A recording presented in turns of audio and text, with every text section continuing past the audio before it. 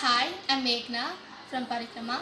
I was chosen to attend GYLS last year and the most important skill that I learned is to have faith in myself and to have faith in mankind. Before I attended GYLS last year, I used to doubt on my abilities and, and before I do things, the first question that would arise in my mind is whether I can do this or not. But now that question is deleted in my mind. I, I feel I can do anything and everything and I'm capable of doing things. According to me, an alumni is- a person who has already experienced GYLS once and their pre- the presence of alumni have helped me a lot last year because when I was not heard in my groups during the day, I was given a chance to express myself back in the rooms and they're a great source of motivation and I think they play an important role by encouraging, by motivating and providing a moral support to the ambassadors. After I come back from GYLS, my mom told me that I have become more responsible, and my friends also told me that the way I carry myself has changed.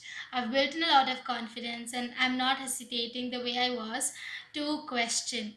And I also realized that yes, I have changed a lot um, in in many ways. Like I, after coming back from GYLS, has under, I've understood the value of forgiveness and to apologize.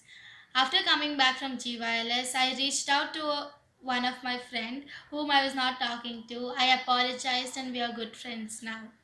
I also realized that failing is more hon- honorable than cheating because uh, you know like learning from mistakes is more important and uh, not demotivating myself and yes so i've learned a lot coming back from GYLS.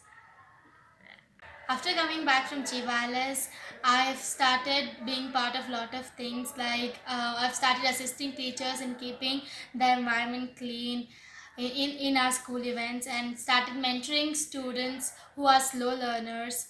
And I've also been part of team which has started which has started planning um, concepts for blind schools. And i'm also part of the Parikrma changemaker team which serves the community and which also keeps the surrounding clean